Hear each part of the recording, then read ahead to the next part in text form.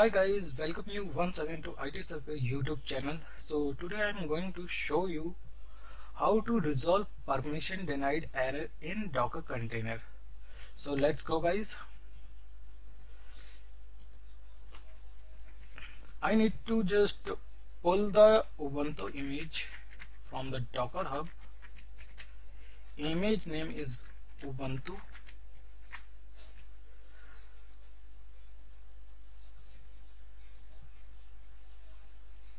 it's uh, already downloaded. Let me check. Docker image ls. Okay now i have. So i need to run the container.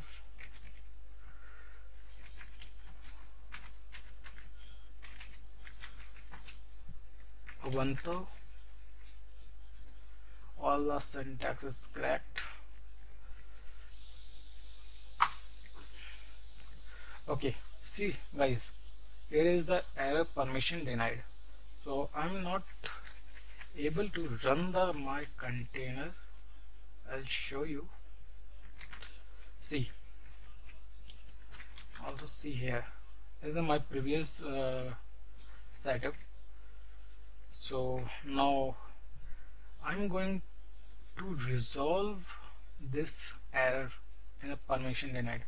So just see the SC Linux contact. SELinux setting. Current mode is enforcing mode. Just I need to permissive mode or as well as uh, disabled. So I'm just set permissive mode set in force 0 let me check. Okay now it's working. Okay no no no no no. Okay here it is. Okay my docker container ls so your machine is ready now so i hope you like this video